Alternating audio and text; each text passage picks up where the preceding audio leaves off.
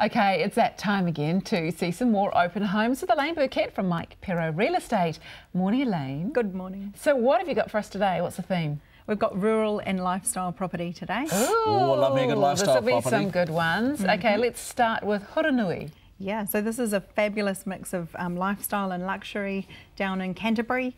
Um, it'll be a great find for the family. Um, big and lovable kitchen. You've got your terrific island bench there. Double ovens, so cater to a big family. Nice country style family living and beautiful polished wooden floors through there.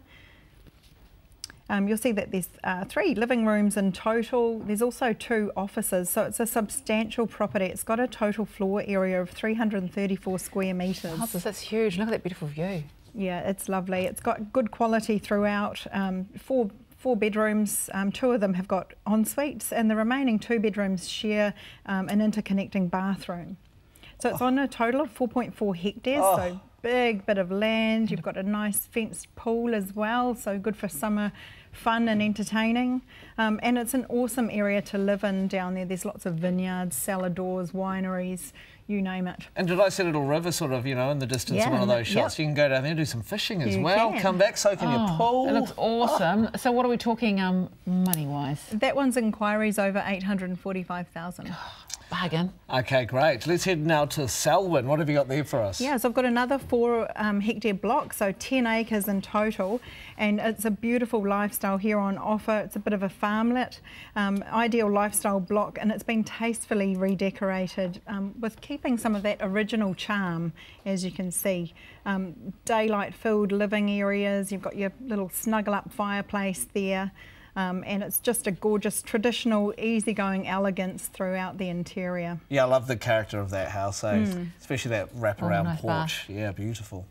Look at that. And so it looks like some some vineyard, some vines there. Yeah. and you've got you know your nice wide verandas there. So um, just a gorgeous property. You've got open bays for horses if you've got them. There's also some lockable work sheds and you know bit of if you're a bit of a hobby grower, although Jeez. that looks a Yeah. bit bigger than that. That's On your own nursery. That's a right on mower lawn. That one Oh, there, right? look is? at. Yeah. Definitely, it's a just a beautiful, property. Yeah, Love it. Okay, what are we talking about? seven hundred and sixty-five thousand. No.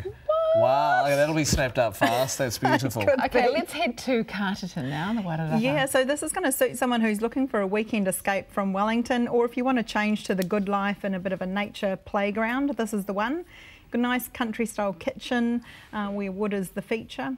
And we've got spacious living rooms, huge bifold doors, ideal for the family to get together. And there's also a second living room. Wow. There's million dollar views from this property as well. Yeah, and a lot of people are making Carterton a holiday home place, aren't they? Yeah. This Yeah. is a spectacular property. You know, if you're a family that's into camping um, and that sort of thing, it's close to um, the river, so you can get down there and, and have a play in the Waiohine River. Just such a special little spot. It's again on um, four hectares, so really big property. Was that an outdoor bath? It's an outdoor soaking. Oh, that's some Instagrammable moments in that bath, isn't there? could be. yeah, lovely. Look, offers over five hundred and eighty-five thousand for that. 585, that's ridiculous. That's great, I'm loving this. Wow, yeah. Okay, cool. Let's head now, now to Franklin. So Mm-hmm. we're heading further north. Yeah, so this is situated on the Sunset Coast in Auckland. It's really horse and hound country out there. Everyone seems to have horses and dogs, and it's been beautifully um, renovated.